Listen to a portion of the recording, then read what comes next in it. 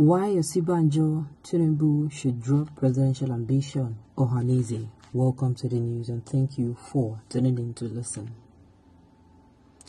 Apex Igbo social cultural organization Ohanaeze Ndigbo worldwide on Friday said it will not support the presidential ambition of the Vice President Yemi Osinbajo.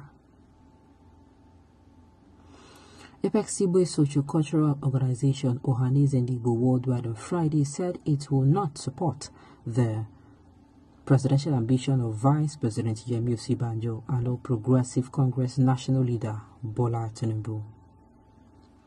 Ohanaeze National Publicity Secretary Chief Alex Ogbonnia, who stated this in an interview with The Punch, emphasized that it was the turn of the Southeast to produce Nigerian ex-president and not the Southwest. He added that separatist agitation would increase in the southeast if the zone does not produce the next president. Ogbonnia urged both Osinbajo and Tinubu to drop their 2023 ambition and back a competent aspirant from the southeast to emerge the next president of a country after the eight-year regime of the incumbent Major General Muhammad Buhari retired on May 29, 2023. With less than a year to the next general elections, the politics of zoning has dominated public discourse with prominent southern elements and political parties demanding power shift to the southern region after Buhari, who is from Katsina in Nigeria's bandit-ridden northwest. Tinubu, former governor of Lagos State between 1999 and 2007, had in January 2022 declared his intention to fulfill his lifelong ambition of becoming a president in 2023, while Osinbajo had last week said he want he would want to succeed his principal Buhari to complete what they both started together. Both politicians belong to the ruling All Progressives Congress and were former political associates as Osinbajo had served as Attorney General, as Attorney General and Commissioner for Justice under Tinubu for eight years from 1999 to 2007. Tinubu had also reportedly nominated Osinbajo as Buhari's running mate in the run-up to the 2015 election to avoid a Muslim-Muslim presidential ticket.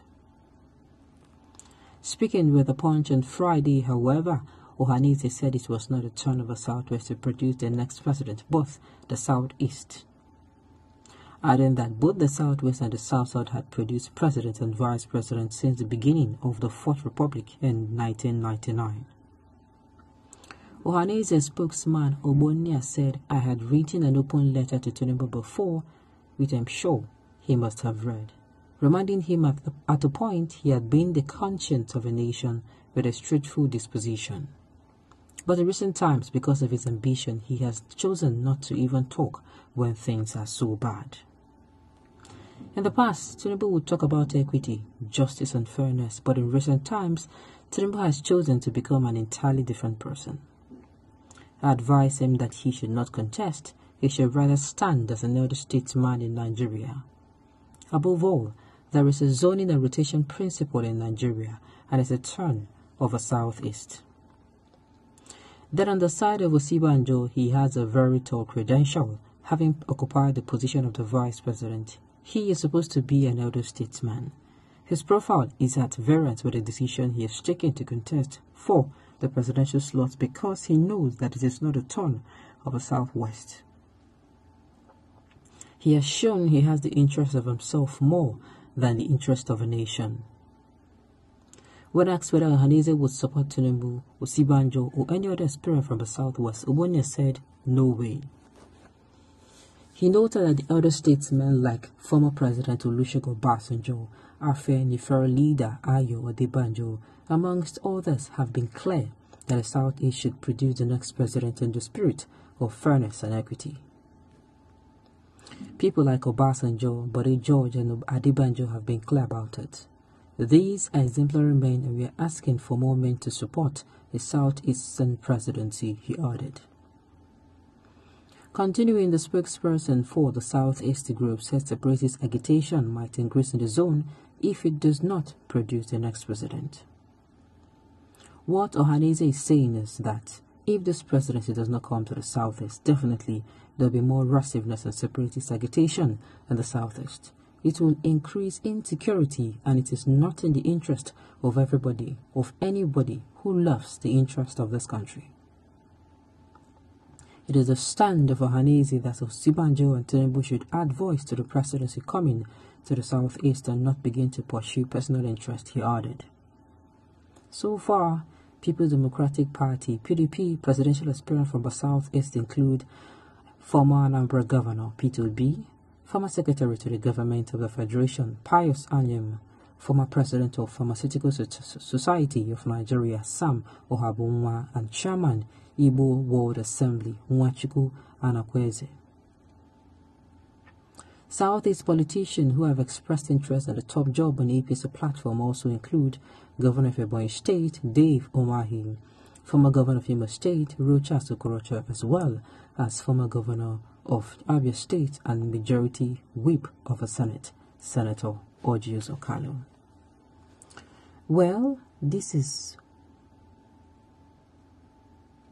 this is um, where I can now come in and say, eh, hey, if people are not coming out to say, eh, Osinbajo, eh, Tinubu, you people should do this, I will not say yes. Two of them are not supposed to come out to. I will not say, okay, it is this line in the spirit of equity, fairness, and justice. There is one man that's continued to amaze me. What am I saying? A lot of them. The so called people that when they come out, you know, people talk down, and eh, you people are also among. Yes. Look, let me even start from those facts. Those people who are voting for Tinubu, Tinubu did this, Tinubu did that. You can clearly see in this particular article that the person said Tinubu was once upon a time someone who you can say when you see him, if democracy was a person, you will see democracy. He's somebody who spoke up when things were wrong. He's somebody who come out and say no in the face of injustice. This is not right. In the face of unfairness, this is not fair. In the face of nepotism, this is not okay. But unfortunately, the man stopped. And we say, I get him before, no be property. I used to behave like this. It's not part of now. How do you used to behave now? The man is now, his silence is disturbing over national issues. Rather, he's going around donating money when he's supposed to be coming out screaming on top of his lungs, saying, "Look, there is, there is, there is um blood, the bloodletting in Nigeria. Nigeria is going on a killing spree, and something should be done to stop it. We don't need to wanna be somebody who will be a democratic, a democratic leader, or somebody who is fair, who will be fair. We need somebody who, right now, his character, and even before his character speaks of fairness, equity, and justice. On this note, we've come to the end of the news. We say thank you for tuning in to listen. and Until I come here next time, enjoy the rest of your day.